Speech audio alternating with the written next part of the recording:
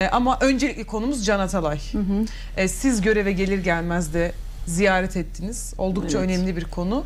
E, Bugün de önemli mesajlar vardı Can Atalay'dan. E, Süleyman Bey ziyaret etti.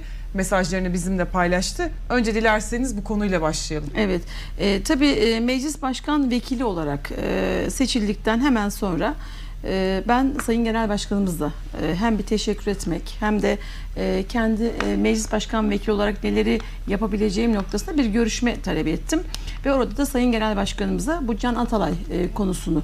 Çünkü meclis başkan vekili milli iradenin temsil edildiği meclisin e, orada yönetecek olan o iradenin gereğinin e, tarafsızca yerine getirilmesini sağlayacak olan yani vatandaşın e, seçmenin iradesinin yansıdığı Türkiye Büyük Millet Meclisi'nde yöneticilik e, yapacak olan bir makam, bir e, koltuk. E, ben de e, Hataylı 77 bin civarındaki seçmenin oyuyla seçilmiş ve milletvekili olarak mazbatasını almış Can Atalay'ın yerinin cezaevi değil mutlaka Türkiye Büyük Millet Meclisi olması gerektiğini bu nedenle de meclis başkan vekili sıfatıyla e, sorumlu olduğum seçmen iradesi hani yazıyor ya mecliste arkamızda Evet. oturduğumuz zaman egemenlik kayıtsız şartsız milletindir. Millet bu egemenlik hakkını seçtiği milletvekilleri aracılığıyla kullanır. Yani biz de milli egemenlik yani kayıtsız şartsız millete ait olan o egemenliği kullanacak olan vekilin yerinin meclis olması gerektiğini ifade ettik. Sayın Genel Başkanımız da bu böyle bir ziyaretin çok anlamlı olacağını ifade etti. Ee, ve Can Bey'e meclis başkan vekili sıfatım ile ve o e, makam aracıyla gittim. Özellikle öyle gitmek istedim. E, çünkü e, Cumhuriyet Halk Partisi'nin hangi partinin milletvekili olursa olsun bizim milletvekilimiz olmasına da gerek yok. O milli iradenin mutlaka mecliste tecelli etmesi gerekiyor. Kendisini ziyaret ettim. Gerçekten e, çok e, heyecanlıydı. E, morali çok yüksekti E, ve e, düşüncelerimi onunla paylaştım. O da e, seç, e, tüm seçmenlere ve e, vatandaşlarımıza mesajlarını e, paylaştı. Onu e, açıklamamda sonuçta da bir basın açıklaması yaptım ve giderken de Can Bey'in babasını da aradım E, ve e, Mustafa Atalar'la birlikte gittik. Açıklamayı da beraber yaptık. E, peki bana dediler ki neden e, işte e, Numan Kurtulmuş'la meclis başkanı bunu görüştün mü diye Ha, ifade ettiler. ben de onu soracaktım. Şimdi yeni dönem başlıyor. Evet. E, ben Ilımı da bir konuşma yapmıştı aslında başında. Gitmeden bir gün önce o olumlu konuşma neticesinde seçildi. Meclisteki seçimden sonraki teşekkür konuşmasında da biliyorsunuz hem tarafsızlık hem milli irade vurgusu hem e, tarafsızlık konusunda ve milli irade konusunda gereğinin e, yerine getirileceğine ilişkin çok anlamlı altını çizerek mesajlar verdi. E, ben kendisini bir gün sonra aradım. Hem kutlamak hani meclis başkanı olarak seçilmesinden dolayı kutlamak hem de ertesi gün Can Bey'e ziyarete gideceğimi bu konuda ne yapması neyi planladığını e, sormak da istedim işin açıkçası. Ancak sanıyorum çok yoğundu kendisi. Dönüş yapacağı ifade edildi ama dönmedi. Ben yine de gittim. E, tabii ki e, anayasa çok açık. E, biz e, şunu talep edecektim kendisinden. E, Sayın Mustafa Şentop'un yaptığı hatayı yapmamasını talep edecektim. Seçilmiş bir milletvekilinin yeri Türkiye Büyük Millet Meclisi'dir. E, Can Bey milletvekili adaylık başvurusunda bulundu. Yüksek Seçim Kurulu'ndaki hakimler dedi ki hiçbir problem yok aday olabilir. Yeterlilik sorunu Yeterli yok. Hiçbir sorun yok. E, ardından e, seçildi. 76.580 civarında yani 77 bin yaklaşık Hataylı vatandaşım seçmenin oyunu aldı. Arkasından mazbatasını verdiler. Dediler ki evet milletvekili olarak seçildi. Mazbatayı da hak etti. Mazbatayı verdiler. Mecliste yemin töreninde ismi okundu. Yemin etmek üzere kürsüye çağrıldı.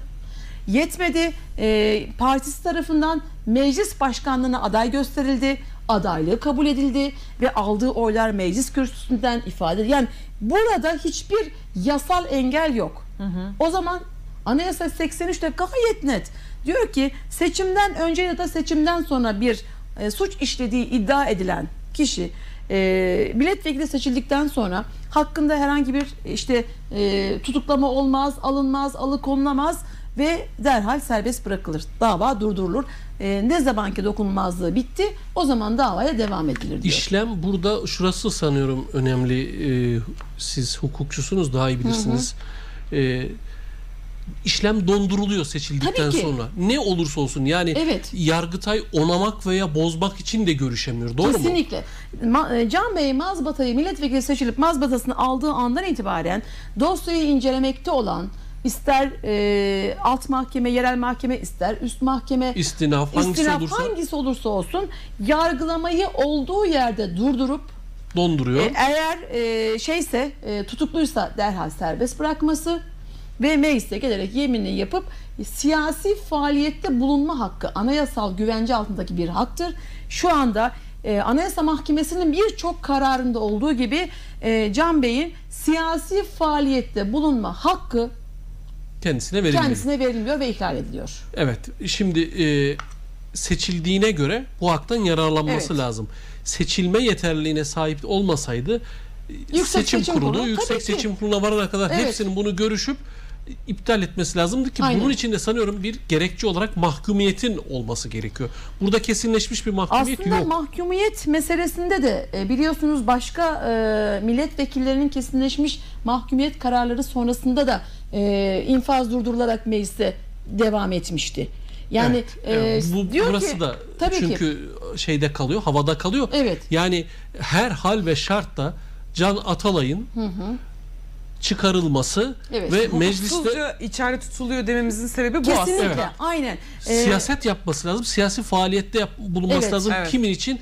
Bu 77 bin seçmenin Seçmenin, evet. oyu için, temsili için. Kesinlikle. Ee, Sayın Adalet Bakanı e, bir açıklama yaptı. Hakikaten hani belki de o anki heyecanla ya da kendisine yeterli bilgi verilmemiş olmasından kaynaklı diye düşünüyorum. İyi niyetli düşünmek istiyorum. Ben de bir hukukçuyum. Kendisi de bir hukukçu. Mecliste grup başkan vekili olarak birlikte mesai yani ben milletvekiliydim. Genel başkan yardımcısıyım. O grup başkan vekiliydi. Yani bir hukukçunun tutuklu ve hükümlü arasındaki farkı bilmesi gerekir. Çıktı tutuklu de, de- olan kişiye hükümlü, Hüküm dedi. dedi. Yetmedi anayasanın 14. maddesine atıf yaptı. Oysa ki anayasanın 14. maddesi Gergerlioğlu ve Leyla Güven dosya kararlarında 14. maddenin bu olaylarla ilgili içinin e, kararlara göre yeniden düzenleme gerektiği ve 14. maddeden dolayı bir milletvekilinin e, tutulamayacağı, tutuklanamayacağı, sorguya çekilemeyeceği gayet net bir şekilde hem Sayın Gergerlioğlu dosyasında hem güven dosyasında Anayasa Mahkemesi o yasal boşluğa ilişkin bir karar verdi. Bu boşluk doldurulmadığı sürece de siz 14. maddeyi Anayasa 14'ü bahane göstererek Can At- Atalay'ı bir milletvekilini hangi siyasi parti olursa olsun seçilmiş mazbatasını almış bir milletvekilini cezaevinde tutamazsınız. Şimdi gittik hakikaten e, Can Bey'le bir milletvekilinin üstü aranamaz. Değil mi? Suçüstü halleri dışında üstü aranamaz. Ama Can Bey bizimle görüş odasına gelirken üstü aranıyor, çıkarken aranıyor. E bu durumda arayan polis memurları, güvenlik güçleri e, görevi kötüye kullanmış olmuyorlar mı? Suç işlemiş Evet. oluyorlar. Yani onlara bir e, yargının e, ya da Türkiye Büyük Millet Meclisi Başkanı'nın ihmali yüzünden oradaki görevlilere suç işletiyorsunuz. Bir milletvekili çok açık ve nettir. Suçüstü halleri dışında aranamaz. Ama Can Bey aranarak girip çıkıyor içeriye. Böyle bir ucubelik, böyle bir e, hukuksuzluğu Tabii bir yerden başlayınca Tabii ser- ki. yani onu e, serbest bırakmayınca peşi sıra diğer hukuksuzluklar tıkır tıkır gelmeye başlıyor. Kesinlikle. O nedenle e, avukatları tahliyesi için dilekçe verdiklerini ancak dilekçelerin işleme dahi alınmadığını ifade ediyorlar. Böyle bir e, Bu durumu nasıl açıklayacaksınız? e, Yani- bu durum yani Türkiye Cumhuriyeti Devleti'nin e, hukuk devleti olduğu anayasada hala yazıyorsa ve e, değiştirilemez, değiştirilmesi teklif dahi edilemez hükümler arasında bu nitelik varsa hukuk devletinin gereği yapılmalıdır. Ama maalesef ülkemizde e, geldiğimiz nokta hukukun değil yani hukukun üstünlüğü değil, üstünden hukukunun hakim kılınmaya çalıştığı bir e, sistem, bir e, iktidarla karşı karşıya olduğumuz için e, anayasada e, uygulanmıyor. Kanunlar da uygulanmıyor ve her e, o iktidar saraydaki kanun da benim, anayasa da benim diyerek hakimler yukarıdaki e, saraydaki acaba ne der? Bir talimat gelir mi diye bakıyorsa, Yargıtay iş dosya e, dilekçeleri işleme koymak için yukarıdan bir talimat bekliyorsa o zaman e, bu ülkede e, bir hukuk devletinin varlığı hakikaten tartışılır diye e, ben net bir ifadeyle burada bunu belirtmek isterim. E, Can Bey e, istiyor ki bir an önce çıkayım. Çünkü e, Bir önce Hataylı. Hatay'a gitmek istiyor. Evet. e, ba- aynen ifadesi şu. Aydın Milletvekilimiz Süleyman Evet. Bülbül de ziyaretinde o mesajı paylaştı. Aynen. Gerçekten e, üzücü. Yani o mesaj üzücü. Milletvekili olarak buradan çıkacağım diyor.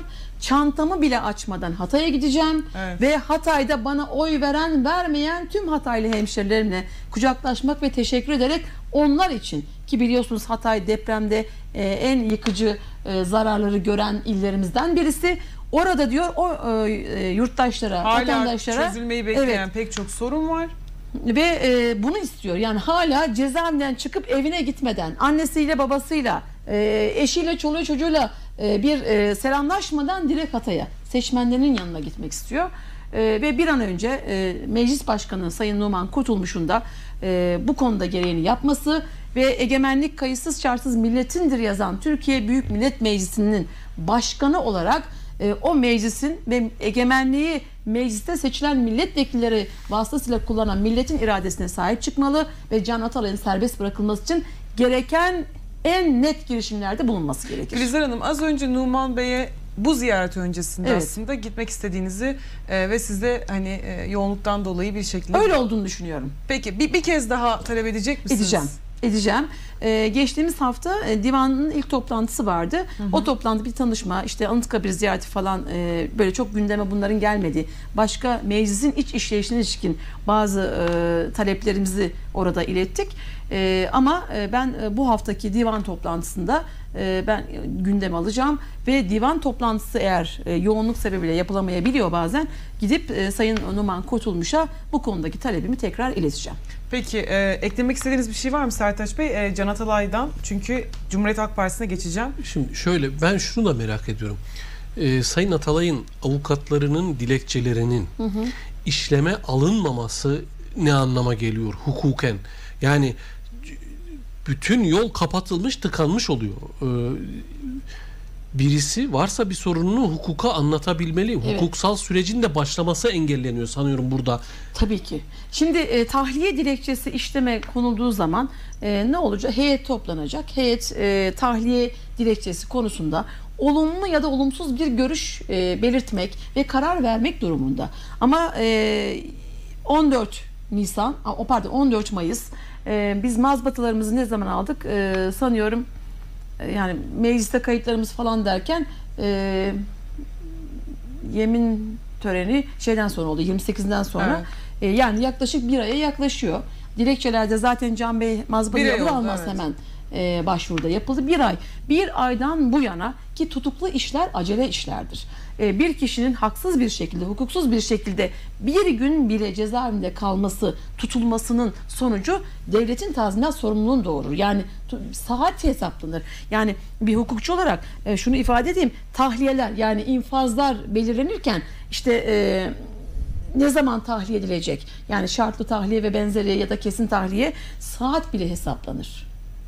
E, Can Bey'in bir gün bile cezaevinde tutulmaması gerekirken bir ay boyunca dilekçe hakkında bir karar verilmemiş olması kabul edilebilir bir şey değil.